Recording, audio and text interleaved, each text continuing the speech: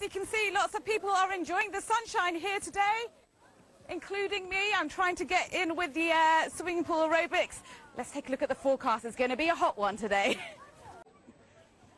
Good morning. So it looks like it's going to be another hot one for today, mainly across parts of England and Wales, especially so across the south. That's where we're likely to see temperatures possibly reaching 34 degrees Celsius. And if we hit that high, then it will be the highest June temperature in over 40 years. So to begin with this morning, it's a largely dry start across the majority of England and Wales with sunny skies and warm conditions. Already temperatures are above 20 degrees Celsius or so, and they're going to rocket up.